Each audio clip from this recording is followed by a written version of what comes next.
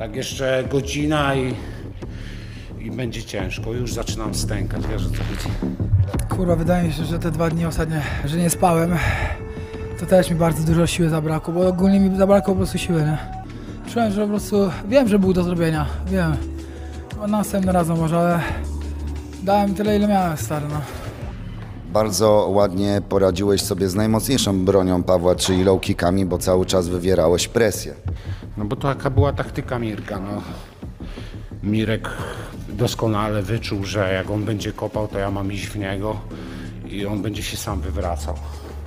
Paweł miał duże umiejętności w stójce i można powiedzieć, że tą walkę powinien wygrać, a dzięki taktyce Mirka ją przegrał.